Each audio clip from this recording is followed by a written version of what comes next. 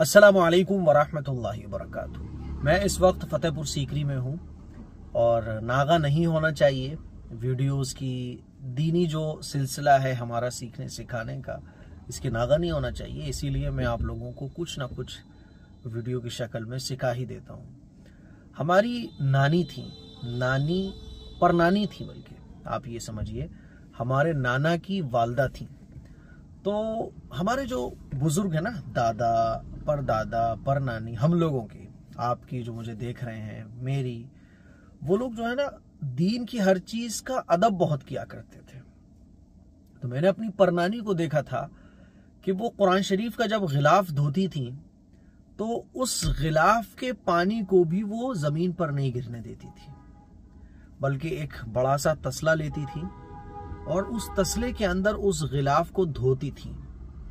और उस गिलाफ से गिरने वाला जो पानी होता था, उसको वो दीवारों पर छड़क देती थी, गमलों में डाल देती थी।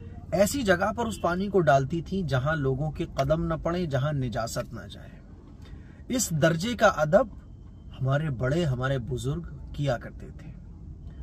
मेरे अज़ीज़ भाइयों, मेरी बहनों कुरान मजीद से चूँकि वो गिलाफ लगा रहता है और कुरान मजीद से जो चीज़ टच होना तो वो भी बाबरकत हो जाती है। रहल है। रहल लकड़ी की बनी होती है। लेकिन जब उस पर कुरान शरीफ रख दिया जाता है तो रहल पर भी कोई पाव नहीं मारता। क्यों? क्योंकि इस पर कुरान शरीफ रखा जाता है। जिस जगह पर कुरान शरीफ रखा जाता है, वो जगह भी बाबरकत हो जाती है। तो पहले हमारे बुज़ुर्ग, और मैंने अपनी परनानी को देखा था बचपन में, कि वो इस तरह से कुरान शरीफ के गिलाफ को धोती थी। अब सवाल ये पूछते हैं लोग कि कुरान शरीफ के गिलाफ का पानी कहाँ डालें, कहाँ फेंकें? तो देखो, अदब तो यही है, बा अदब, बा नसीब। ये आपकी मोहब्बत की बात है कि आप कुरान मजीद से कितनी मोहब्बत करती हो, कितनी आप मोहब्बत करते हो। और मोहब्बत अदब खुद सिखा देती है।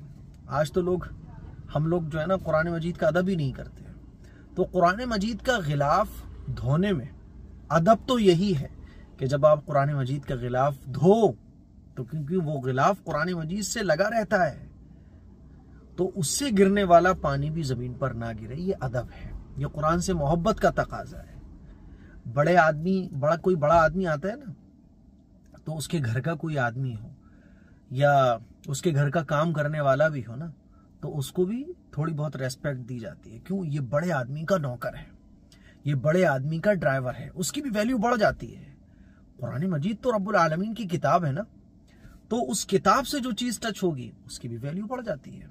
इसीलिए अदब यही है कि जब आप कुरान मजीद का गिलाफ दो तो मोहब्बत से दो उसका जो पानी है, वो नापाक जगह पर, नाली में, जहाँ पर हम अपनी नाक भी सिनकते हैं, अपना थूक भी थूकते हैं टॉयलेट भी जारी होती है। अदब और मोहब्बत यही है कुरान मजीद से कि उसके गिलाफ का भी अदब किया जाए। तो हमारी परनानी जो है ना, वो इस तरह से गिलाफ कुरान मजीद का धोया करती थी, जितना हम कुरान मजीद का अदब कर सकते हो, उतना करने की कोशिश करें। कुरान मजीद का कुरान मजीद का अदब करना बहुत ज़रूरी है। इसीलिए मेरी आप लोगों से गुजारिश है, खूब अदब कीजिए कुरान मजीद का। हाँ मान लीजिए आपके यहाँ कोई गमला भी नहीं है, कोई दीवार भी नहीं है, छत भी नहीं है तो ऐसी जगह डाल दो उस पानी को कि धूप से वो सूख जाए, उस पर लोगों की कदम ना पड़े।